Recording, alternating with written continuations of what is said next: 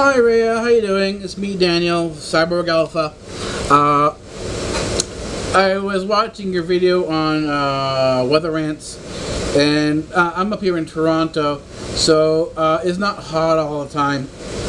Uh, but I'm a type of person who likes all different types of weather. It doesn't matter whether it's uh, whether it's hot, cold, or whatever. I've actually, I've actually gone uh, uh, camping in a tent uh, in the middle of winter. In, in the middle of winter, uh, and I think it was like 30 or 40 below zero outside. So, yay! Um, but I do agree with you. The the problem that I have uh, is not necessarily weather itself, but uh, places that kind of ignore the weather, ignore the conditions outside, and set temperatures either too warm or too cold.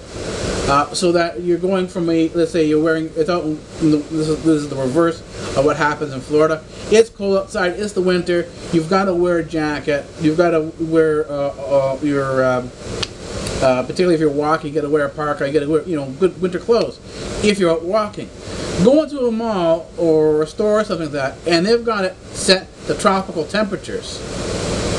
Well, you know what's going to start happening is you're going to overheat, you're going to start sweating, and you're going to get heat stroke inside the store simply because you're dressed for the winter weather that's outside.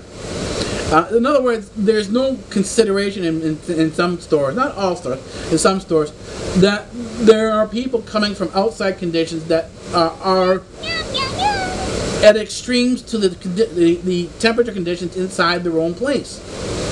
And I don't know why they do what they do, but in many cases they do. It's, it's sort of, it's not necessarily a logical thing. It's sort of, uh, it's in many cases preferences. Like I know for myself, I like my place colder than most people would like. I usually have my place around 68 degrees, and in the winter, it's between 65 and 68 degrees. Uh, so in other words, all year round, it doesn't get any hotter in here than uh, 75 degrees because I like my place rather cool. My, my air environment is rather cool. So uh, that would be a problem for some people because they some people like it toasty. Some people have their thermostats. I know some people have their thermostats, the uh, the temperature in the house and in their environment set at 80 degrees. And there are a lot of people who want that tropical weather. They can't, if it gets a little cold, if it gets down to 75 degrees, they're freezing at 75 degrees. 75 degrees. So, uh, I guess there's all, the, well, this, this, this is, goes without saying, there are all different types of people out there.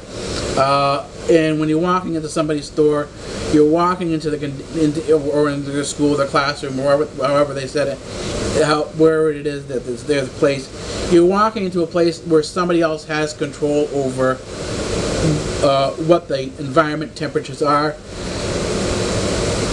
And more often not, they'll set it to their preferences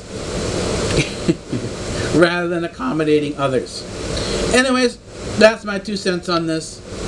Uh, I'll talk to you later. See you more on the uh, YouTube as I stroll around. Have a nice day. All right.